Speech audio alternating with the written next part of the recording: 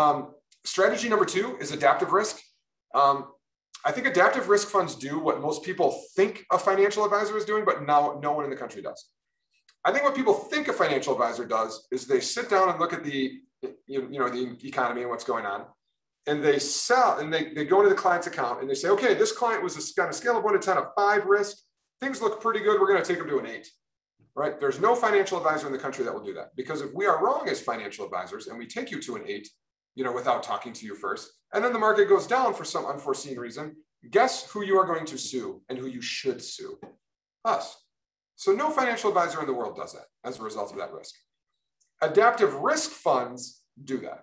So adaptive risk funds look at your portfolio at a given amount of time. So, you know, some of them are monthly, some are quarterly, some are actually daily. And they can make changes to the, to the risk level inside of your account. Um, they can be wrong sometimes, which is why I don't think anyone should have 100% of their money into an adaptive risk fund.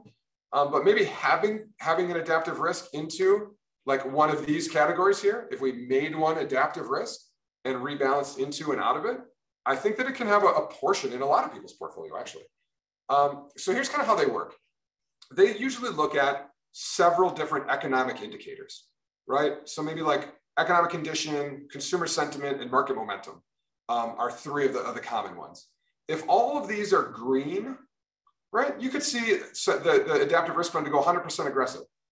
100% aggressive would mean tech, you know, buying usually 50 to 100 stocks that are more risky than the overall marketplace. Um, they usually define that by looking at something called beta. Beta is just a measurement of how much up and down, you know, basically that a stock does. So if if the if everything's green and everything's looking rosy, your adaptive risk fund may move you to very aggressive stocks.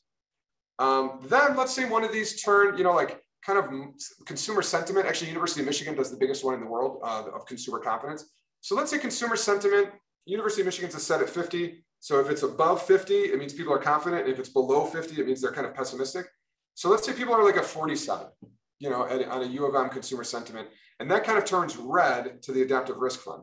They will sell your stocks that are super aggressive, and they'll probably buy like, you know, some market about equal to the market. So a beta of about one. So about the same volatility of the overall like S&P stock market. Um, then let's say another one turns, you know, kind of yellow or red and, and starts to concern them. They will then sell those stocks that are about market risk and they're going to go with super conservative stocks. You know, think Coca-Cola, right? People don't buy much less, much more or less Coca-Cola based on what's going on in the economy. Procter and Gamble makes toilet paper. Um, you know, DTE makes electricity. These are things that people use about the same amount of no matter if there's a recession or not. So they'll kind of stick in um, in stocks or maybe a little bit of cash, but they'll just be super conservative. If all three of them go red, I mean, some stuff's hitting the fan, and they can literally go to 100% cash. Um, there are quite a few funds out there who no one missed COVID. Um, no one saw a pandemic coming. But there are some of these adaptive risk funds that, I mean, COVID started to hit and only went down a little bit and they got right out. Um, again, there are others that got out too late, right? It was more near the bottom and then the market rebounded very sharply and they ended up losing a little bit. Um, but some got out very quickly. Um, others completely missed the recession of 2008. Like the market started to turn a little bit. They saw some things they didn't like. Everything turned red. They went to cash for sometimes a couple of years. And the entire time the market was going down, they didn't really lose almost anything.